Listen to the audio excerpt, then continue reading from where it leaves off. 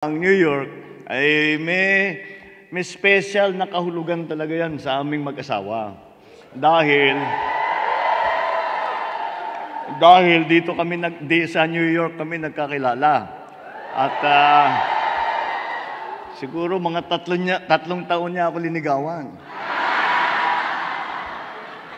At ah, dito talaga, dito kami, kaya uh, no, matagal na kaming hindi nakabalik. Uh, pauwi, pa, parating kami from New Jersey, uh, uh, papunta dito sa New York, sa city. Eh, tinitingnan namin, 25 years na kami hindi nakabalik. Siya ay nagtrabaho rito bilang abogado ng anim, pitong taon, parang ganun.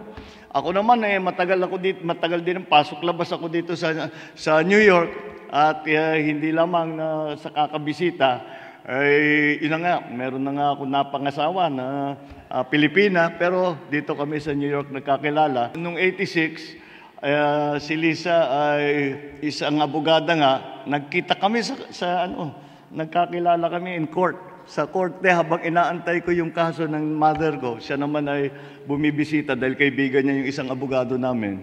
At uh, ayun. Kaya Sandro, magpasalamat ka sa New York. Kundi sa New York, wala ka.